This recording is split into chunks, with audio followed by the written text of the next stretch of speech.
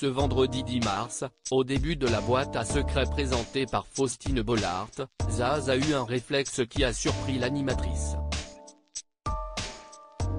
Qui n'a pas hésité à relever le geste de la chanteuse, qu'aucun invité avant elle n'avait osé.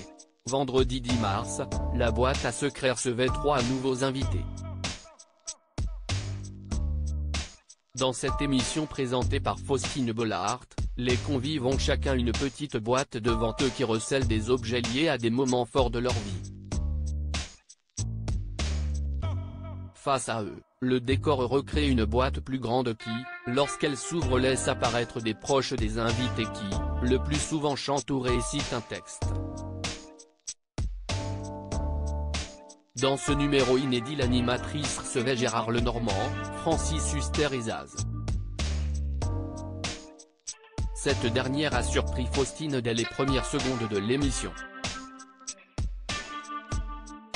Si est-il la première fois, Faustine Bollard surprise par un geste de Zaz dans la boîte à secret le générique à peine terminé, Faustine Bollard apparaît sur le plateau de la boîte à secret, émission qu'elle présente depuis 2019 sur France 3.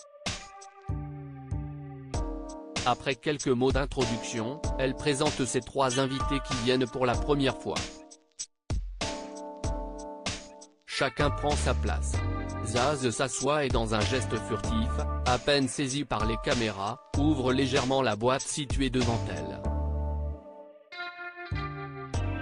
Ce geste n'a pas échappé à l'animatrice qui interpelle tout de suite la chanteuse, oh, bah, enfin. Zaz. L'interprète de Je veux, se confond en excuses. Si est-il la première fois qu'un de mes invités sur le plateau arrive et ouvre directement la boîte s'amuse-t-elle? Moi, je vois une boîte, il faut que je l'ouvre. Jamie les boîtes explique la chanteuse. Vous aimez les surprises? Face à cette étonnante révélation, l'animatrice questionne son invité, vous aimez les surprises? Étonnant, lorsque l'on sait qu'il s'agit du principe de l'émission. Petit suspense, car l'émission pourrait alors tourner court. Jamie les boîtes, rétorque Zaz qui esquive la réponse. Elle poursuit, quand j'étais petite, pour Noël, je faisais des cadeaux, je faisais plein de boîtes avec des paquets cadeaux et je mettais un petit mot dedans. Un joli souvenir qui a lancé l'émission qui se plaît à faire replonger les artistes dans des moments tendres ou marquants de leur enfance. À lire aussi c'est la toute première fois, Salvatore Adamo ému aux larmes par une vidéo de ses petites filles dans la boîte à secrets.